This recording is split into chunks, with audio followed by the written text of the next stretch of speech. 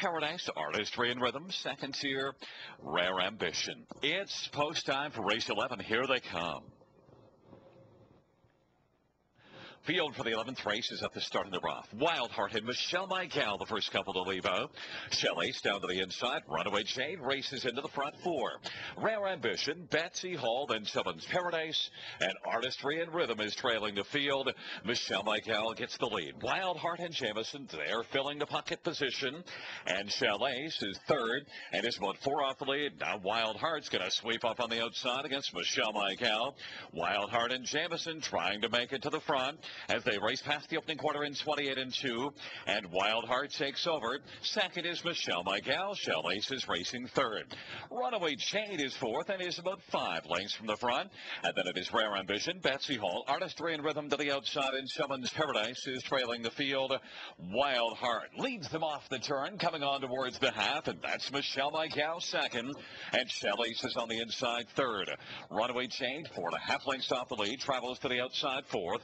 Then is Rare Ambition at Betsy Hall and Artistry and Rhythm. And Tobin's Paradise is trailing the field. 58 and 1's the halftime. It is Wildheart and the Green Machine, leading it by a length and a half. Michelle Michael staying close in the pocket. Shell Ace is racing third.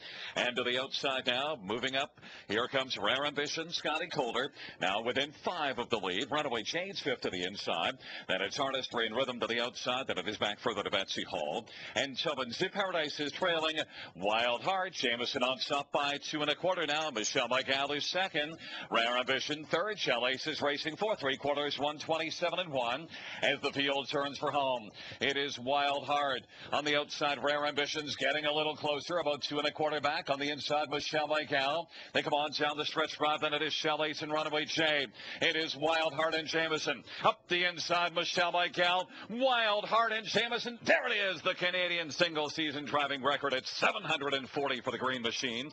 Then finishing second, Michelle Michael. Third was Betsy Hall, and fourth was Artistry and Rhythm. One, 57 and 4, Wildheart. 740 for